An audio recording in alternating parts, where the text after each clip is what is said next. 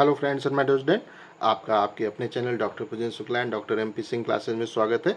Session तेईस चौबीस complete हो गया है और चौबीस पच्चीस स्टार्ट हो रहा है। तो नया सेशन स्टार्ट हो रहा है तो हमारी भी रिस्पॉन्सिबिलिटी है कि नए सब्जेक्ट को अपने इस चैनल पे स्टार्ट किया जाए। तो अब हम लोग, हमारे bachelor of pharmacy fourth year, seven semester के स्टूडेंट के सब्जेक्ट, इंडस्ट्रियल फार्मेसी सेकेंड, जिसका कि subject code B P seven zero two T है, उसको इस चैनल पर स्टार्ट करेंगे। मेरा नाम है डॉक्टर महंताब सिंह। चलिए शुरू करते हैं। तो जो हमारा हमारे B pharm fourth year, seven semester के स्टूडेंट हैं, उनका subject instrumental method of analysis, जिसका subject code B P seven zero one T है, उसको हम लोग इस चैनल पे कंप्लीट कर चुके हैं। जब आप हमारे प्लेलिस्ट सेक्शन में जाएँगे तो वहाँ पे इंस्ट्रूमेंटल मेथड ऑफ़ जो एनालिसिस है, जिसका कि subject code B P seven zero one T है, उसकी आपको प्लेलिस्ट मिल जाएगी, जिसमें आपको यूनिट वाइज जितने भी टॉपिक्स हैं, इंस्ट्रूमेंटल मैथड्स हैं, उनके वीडियोज़ मिल जाएँगे। हर एक वीडियो के डिस्क्रिप्शन में पीडीएफ की लिंक मिल जाएगी, जहाँ पर जाके आप अपने नोट्स वगैरह को भी अच्छे से प्रिपेयर कर सकते हैं। इस जो सेमेस्टर है, उसका जो दूसरा सब्जेक्ट हम लोग स्टार्ट कर रहे हैं, वो है इंस्ट्रूमेंटल ये है हमारा इंडस्ट्रियल फार्मेसी सेकेंड तो जो इंडस्ट्रियल फार्मेसी वन था, जिसको हम लोगों ने पाँचवें सेमेस्टर में स्टडी किया था, उसमें हम लोगों ने डिफरेंट जो हमारी डोजेज फॉर्म है, उनको किस तरीके से बनाया जाता है, उनके इक्विपमेंट वगैरह के बारे में बात किया था, उनके क्या पैरामीटर्स हैं, उन सब के बारे में हम लोगों ने इंडस्ट्रियल फार्मेसी वन में स्टडी किया था। अब हम लोग यहाँ पे जो हमारे फार्मास्यूटिकल इंडस्ट्री होती है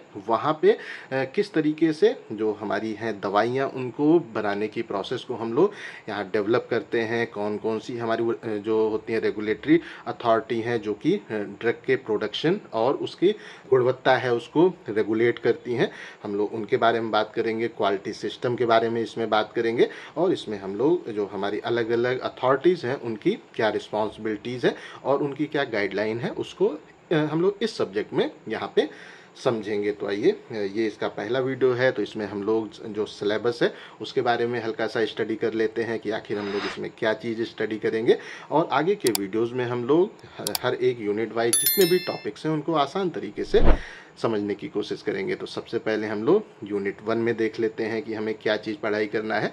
तो जो यूनिट वन है, वो है हमारा pilot plant scale up technique तो अगर हम लोग सिंपली कहें तो जब भी कोई भी ऑर्गेनाइजेशन का रिसर्च एंड डेवलपमेंट डिपार्टमेंट है, वो जब कोई भी जो नई दवा है या नई फार्मूलेशन है, उसको डेवलप करता है तो वो उसको स्मॉल स्केल पे प्रिपेयर करता है। और उसके बाद में उससे फिर वो जो हमारे अलग अलग स्टडीज़ है, करता है। और उस स्टडी की जो हमारे हमारे डाटा आते हैं, उसके बेसिस पे वो अप्रूवल की प्रोसेस की ओर जाता है और अप्रूवल होने के बाद में फिर उसको ये अथॉरिटी मिल जाती है कि अब वो उसको लार्ज स्केल पे प्रिपेयर कर सकता है। तो अगर हम लोग सिंपली कहें तो अगर कोई आर का डिपार्टमेंट है, कोई उसकी लैब है तो वहाँ पर जब भी प्रोडक्ट को डेवलप किया जाता है तो हो सकता है बैच साइज़ एक हज़ार का हो, दो हज़ार का हो, पाँच हज़ार का हो, उस पर वो उतना, जो हमारा बैच साइज़ का डोजेज फॉर्म है प्रिपेयर करता है और उससे फिर सारी स्टडी करता है और अप्रूवल अप्रूवल की प्रोसेस को करता है। लेकिन जब अप्रूवल कंप्लीट हो गया तो जब वो इंडस्ट्री में आएगा, उसकी जो मैन्युफैक्चरिंग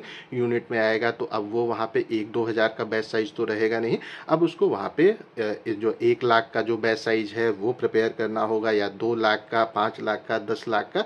तो यहाँ पे जो फार्मूला प्रिपेयर किया गया था हमारे रिसर्च एंड डेवलपमेंट डिपार्टमेंट में, जो कि एक हज़ार का था, उसको फिर वहाँ पे स्केल अप करके उसको वहाँ पे बढ़ा के जब हम उसको एक लाख में दो लाख में, पाँच लाख में या दस लाख में कन्वर्ट करते हैं तो वहाँ पे इस टेक्निक को हम लोग स्केल अप टेक्निक के नाम से सिंपली इंडिकेट करते हैं। और पायलट प्लांट हमारा जो लैब्स हैं और जो हमारी मैन्युफैक्चरिंग यूनिट है, उसके बीच का वो प्लांट है, जहाँ पे हम लोग इस स्केल अप टेक्निक को परफॉर्म करते हैं। तो इसके बारे में हम लोग यूनिट वन में डिटेल में स्टडी करेंगे। इसमें हम लोग इसका क्या हमारे होते हैं जनरल कंसिड्रेशन उनके बारे में बात करेंगे। इसमें क्या हमारी पर्सनल रिक्वायरमेंट्स हैं हम लोग उसके बारे में बात करेंगे, क्या स्पेस रिक्वायरमेंट होनी चाहिए रॉ मटेरियल के बारे में।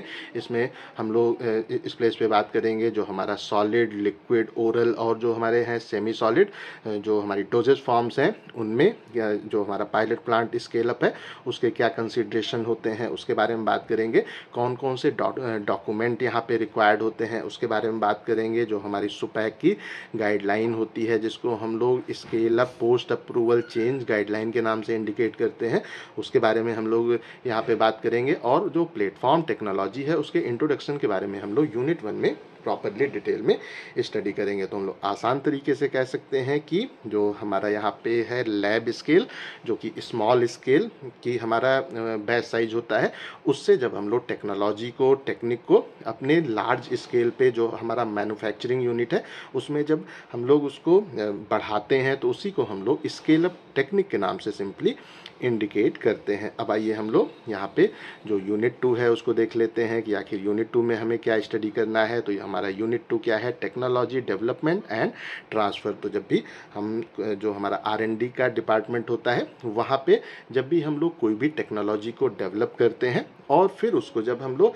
अपने इंडस्ट्री में ट्रांसफ़र करते हैं लार्ज स्केल पे ट्रांसफ़र करते हैं तो उस ट्रांसफ़र की प्रोसेस को हम लोग किस तरीके से करते हैं कौन कौन सी गाइडलाइंस को फॉलो करते हैं कौन कौन से डॉक्यूमेंट्स वगैरह को हम प्रिपेयर करते हैं, उन सब के बारे में हम लोग इसमें डिटेल में बात करेंगे। इसमें हम लोग जो हमारा वर्ल्ड हेल्थ ऑर्गेनाइजेशन की गाइडलाइंस है, हमारे टेक्नोलॉजी ट्रांसफ़र के लिए उसके बारे में बात करेंगे, इसकी जो अलग अलग टर्मिनोलॉजीज़ हैं उसको देखेंगे साथ साथ में इसके जो प्रोटोकॉल्स हैं उसके बारे में बात करेंगे क्वालिटी रिस्क मैनेजमेंट के हम लोग बारे में बात करेंगे रिसर्च एंड जो डेवलपमेंट है और उससे हमारा जो प्रोडक्शन का यहाँ पे डिपार्टमेंट है, उसमें हम लोग किस तरीके से टेक्नोलॉजी को ट्रांसफ़र करते हैं, यहाँ पे जो हमारा वो होता है ग्रेनुलेटरी जो टेक्नोलॉजी ट्रांसफ़र की प्रोसेस है, उसके बारे में बात करेंगे क्या क्या डॉक्यूमेंटेशन की जो हमारा यहाँ प्रेमाइसेस है इक्विपमेंट है, उन सब की क्या रिक्वायरमेंट है, उसके बारे में बात करेंगे क्वालिफिकेशन और जो वैलिडेशन है उसको देखेंगे क्वालिटी कंट्रोल के बारे में बात करेंगे, जो हमारे एनालिटिकल मैथड्स हैं, उनका ट्रांसफ़र किस तरीके से होता है,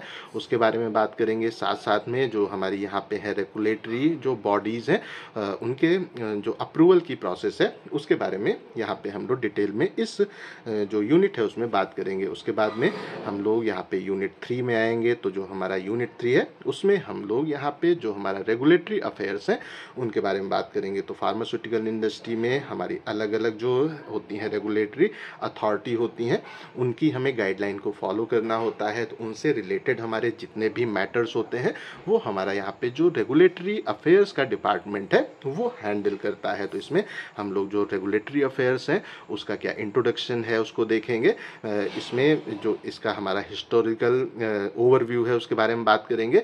जो यहाँ पे वो रेगुलेटरी अथॉरिटीज़ हमारी कौन कौन सी हैं, उसको हम लोग यहाँ पे देखेंगे। ये जो हमारा रेगुलेटरी अफेयर डिपार्टमेंट है, उसका क्या रोल होता है रिस्पॉन्सिबिलिटीज़ होती हैं, उसके बारे में बात करेंगे। उसके बाद में यहाँ पे जो ड्रग अप्रूवल है, उसमें क्या हमारी वो रेगुलेटरी रिक्वायरमेंट है, हम लोग उसके बारे में बात करेंगे। उसके साथ साथ में जो हमारा जो ड्रग है, उसकी जो हमारी है डेवलपमेंट टीम, उसको वो किस तरीके से हम लोग प्रिपेयर करते हैं, उसको देखेंगे। यहाँ पे हमारे नॉन क्लिनिकल ड्रग अप्रूवल्स क्या है, उसको, उसके बारे में बात करेंगे। उसमें जो हमारा होता है फार्माकोलॉजी डिपार्टमेंट का क्या रोल है, उसको उसको देखेंगे। ड्रग की जो हमारी होती है मेटाबॉलिज्म टॉक्सिकोलॉजी उन सब का, यहाँ पे हम लोग किस तरीके से ध्यान रखते हैं और उसकी जो हमारी वो रेगुलेटरी गाइडलाइंस हैं उनको फॉलो करते हैं, उसके बारे में बात करेंगे और हम लोग यहाँ पे जो हमारा न्यू ड्रग एप्लीकेशन होता है, जो कि हमारा यहाँ पे इन्वेस्टिगेशनल जो न्यू ड्रग एप्लीकेशन है, वो क्या है, उसके बारे में बात करेंगे और सब हम लोग यहाँ पे जो भी हमारी जो क्लिनिकल रिक्वायरमेंट्स होती हैं, उन सब के बारे में इसमें हम लोग बात करेंगे कि किस तरीके से हम लोग अपने ऑर्गेनाइजेशन के अंदर जो हमारी जो रेगुलेटरी अथॉरिटीज़ हैं, उनको, उनकी क्या क्या गाइडलाइन है और उसको किस तरीके से फॉलो किया जाता है। उन सब के बारे में हम लोग इसमें डिटेल में बात करेंगे। फिर हम लोग जब यूनिट फोर में आएँगे तो यहाँ पे जो आप लोगों का सिक्स सेमेस्टर था, उसमें क्वालिटी अश्योरेंस का जो सब्जेक्ट था, वो यहाँ पे आपको थोड़ा सा फिर से स्टडी करना है। तो इसमें हम लोग क्वालिटी मैनेजमेंट सिस्टम के बारे में बात करेंगे। इसमें हम लोग जो क्वालिटी मैनेजमेंट का सर्टिफिकेशन है, वो क्या होता है, उसके बारे में बात करेंगे। कॉन्सेप्ट ऑफ़ क्वालिटी क्या है, उसको देखेंगे। टोटल क्वालिटी मैनेजमेंट टी के बारे में बात करेंगे। क्वालिटी बाई डिज़ाइन क्यूबीडी के बारे में बात करेंगे सिक्स, जो सिग्मा कॉन्सेप्ट है, उसको यहाँ पे देखेंगे आउट ऑफ़ स्पेसिफिकेशन ओएस क्या होता है चेंज कंट्रोल क्या होता है, उसके बारे में बात करेंगे आईएसओ 9000 की जो हमारी जो ये जो क्वालिटी सिस्टम के स्टैंडर्ड्स हैं, वो क्या है, उसको देखेंगे आईएसओ 14000 के बारे में बात करेंगे एनएबीएल और जीएलपी क्या है, उसके बारे में बात करेंगे, इन सब के बारे में आप लोग क्वालिटी जो अश्योरेंस का सब्जेक्ट है, उसमें स्टडी कर चुके हैं, और जो लास्ट यूनिट है, उसमें हमारी जो यहाँ पे है इंडियन जो हमारी रेगुलेटरी रिक्वायरमेंट है वो क्या क्या है?